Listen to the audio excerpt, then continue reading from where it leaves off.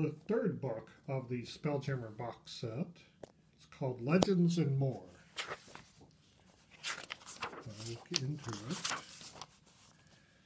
And it starts with a bunch of stories, which I used to read these to my players to begin each session to sort of build up to running this, which I never got to do because the campaign fell apart.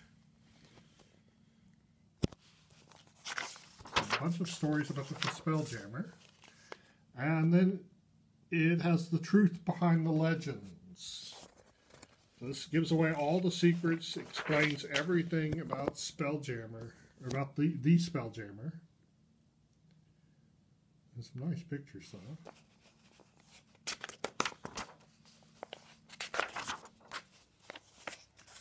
And how to move the Spelljammer, use it in combat.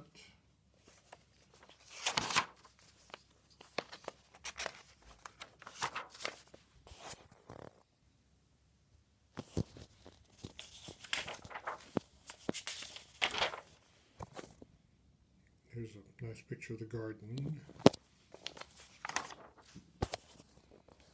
And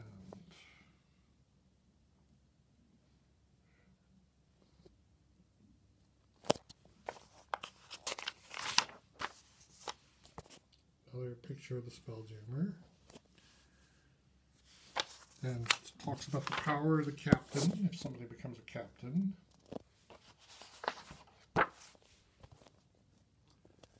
So that's it. I didn't want to give it away too badly. But there were also some cards that came with it. And I showed you most of the cards because I put them in with my box set, Spelljammer box set. But here's some cards that tell you a little about, about each of the leaders. So you don't have to go looking through the book. And there's some ship cards. The Unity Ship of the Kerr. This is a unique ship that shows up in the plotline of Goat Spelljammer that idled. You feed magical scrolls and spell books and stuff to it, and it improves the performance of the ship. If you don't feed it, it starts demanding you feed it. And the small jammer is like a miniature spelljammer ship. which showed up in the Spelljammer comic.